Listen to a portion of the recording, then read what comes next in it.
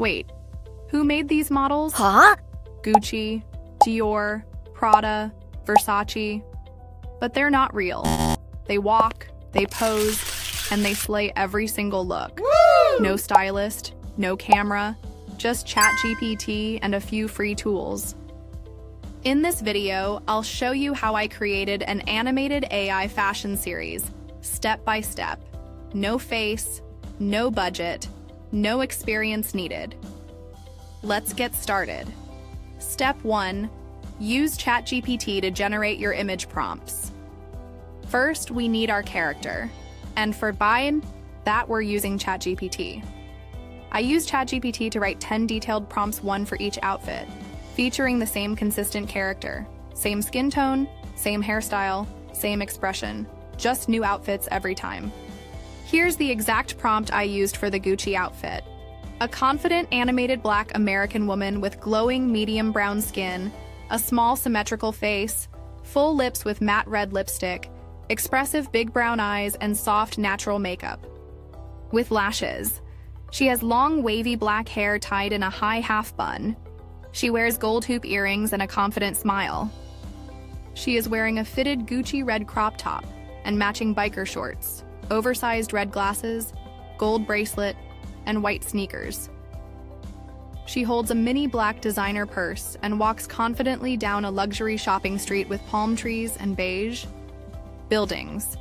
Pixar style 3D, full body, ultra detailed, 16.9. Then I did the same for Dior, Prada, YSL, Burberry, and more. Always keeping the character design consistent. Here is my final image. It looks amazing. Step 2. Animate your image using Hailuo AI. Now that you've got your image, it's time to animate her. Go to Hailuo AI Video. Upload the image you just generated.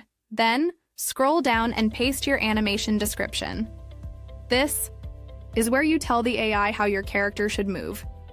Paste your prompt or write like how she walks, how she gestures, and how she expresses confidence. Then hit Generate. And here's the cool part. You can generate up to three videos at the same time using Hailuo. So once you've animated your Gucci model, repeat the process for Dior, Prada, Versace, and all the others. And oh, the final result? The videos look amazing. Once you see her walking in that outfit, it feels like she came to life.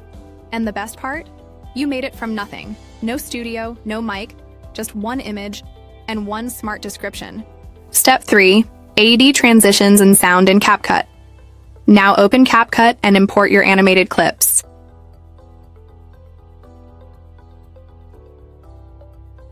Add a soft fade in and fade out at the beginning and end of each clip.